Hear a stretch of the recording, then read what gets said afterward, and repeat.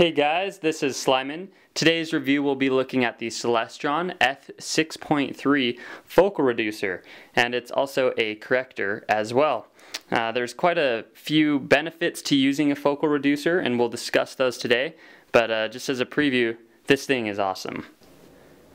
Okay, so one thing that I did notice with the uh, Celestron F6.3 reducer, um, corrector lens, whatever you want to call it, is the instruction manual is really good and that's pretty rare for Celestron products. Usually I found the manual to be not very useful at all, um, but it does tell you, you know, what the focal reducer is used for, the applications that you can use it, and uh, you know how to install it and things like that, and how to properly clean it if you do uh, get dust on it or whatnot. So the the Celestron manual that it comes with is actually uh, really good.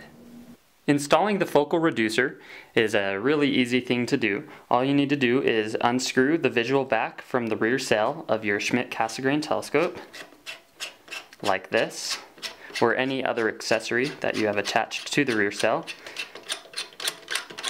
And that's going to open the end of your uh, telescope up. Then simply grab the f6.3 uh, reducer lens and screw it on there.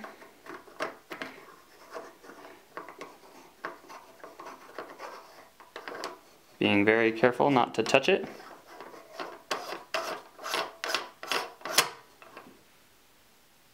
Just like that. Now simply reattach your visual back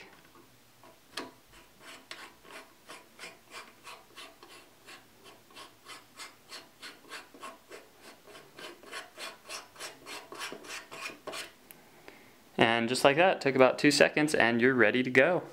One thing that I also really like about the focal reducer is it pushes out the visual back a little bit, uh, about by about 3 fourths of an inch. Um, and what that does is sometimes when I would observe, uh, the visual back would be straight against the telescope tube and I'd hit my face against the telescope tube. But the focal reducer pushes it out a little bit so that your eyepiece is out here um, not about up here. So you get some more room with the focal reducer on, and it just makes it look cooler. So there's two extra benefits of using a focal reducer. Another reason that I really like the Celestron f6.3 reducer lens is it, it has a great price tag to it. As of March 2014, it's only about $100 to get one of these, and it's probably the most important thing that you can get for your Schmidt Cassegrain telescope. If I was to recommend one accessory, it would be the focal reducer that you see here. It is awesome, and I am constantly using mine, so it was definitely worth the money for me to, to pick up the focal reducer.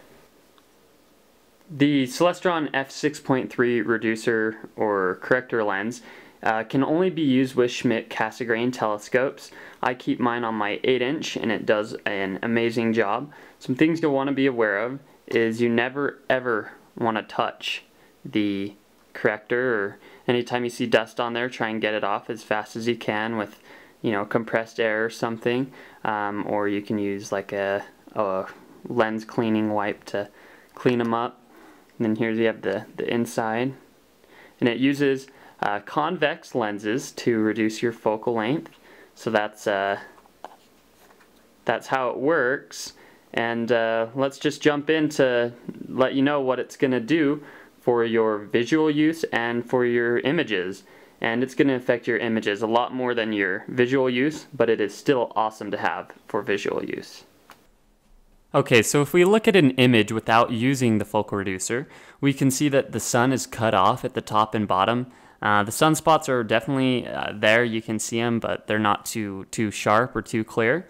Now, if we compare that to an image using the focal reducer, we see that we get the full disk of the sun easily. The focus looks better because it's at a lower focal length and it's really crisp and flat across the field.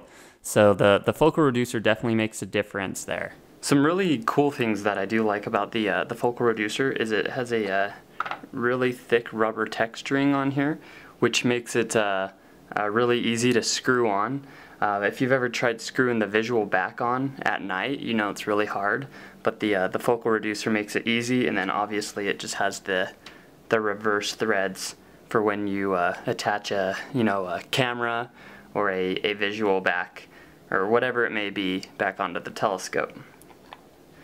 It is uh, pretty solid. Um, it's not going to break on you. It's made out of a, a, nice aluminum it feels like here and like I said that texturing is nice and then obviously you have your your plastic covers that you'll always want to use. Um, which leads me into something nice about the focal reducer is you can always keep this on your your uh, your telescope and it will seal the optics so that no dust or anything gets in there. So if you want to do that, you can seal your telescope with the focal reducer.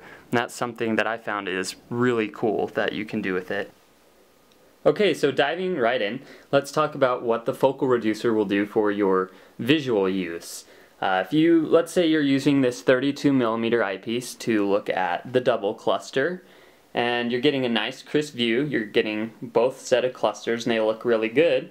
Well, if you put on the focal reducer, you're going to get an even wider field of view. It'll uh, push out that field, field of view a little bit. So you're going to get a crisper double cluster and more stars in your field of view. And it's also going to reduce the field curvature that you get. And that's why it's also called a corrector, is because it does flatten your field. So for visual use, I almost always use my focal reducer unless I'm in, uh, viewing planets. And the reason that is, is like I said, it, it widens your field of view. And for planets, you want a narrow field of view because they're so bright already and you want some magnification so you can see the detail in them. So for planets, I don't use the focal reducer, but for pretty much everything else I do. So for visual use, the uh, Celestron f6.3 reducer is perfect. I love it. And it, it's not too high of a reduction, it's not too low. It's really good right there at 6.3. Using the focal reducer for astrophotography is pretty much a must in my opinion. What it's going to do is it is going to brighten your image so you're going to have to take less exposure times which is really nice or you could take the same exposure time as you were before and get more color or more data and more photons in there. It's going to widen your field of view just like it will do for your eyepieces and it's also going to introduce a little thing called vignetting um, which can be fixed using flat frames. Uh, if you want to know more about how focal reducer works, you can check out my video, and you'll see that in the top right corner here. Um, so uh, a focal reducer really does amazing things for imaging. It, the corrector will flatten the field curvature just like it will for your eyepieces and that's a big thing for imaging. Your, your stars are going to be less bloated. They're going to be the same size across the field uh, depending on their real sizes of course but there's not going to be any stretching or bloating unless you have a, a bad polar alignment.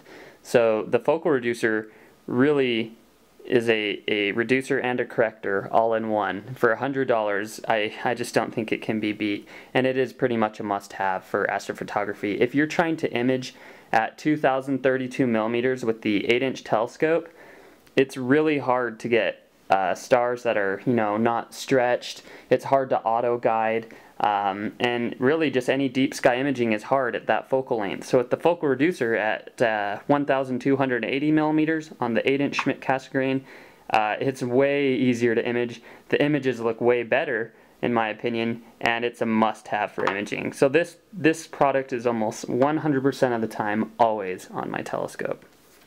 Well that concludes my review of the Celestron f6.3 reducer lens or corrector lens. Thanks so much for watching today guys and I hope you enjoyed the video.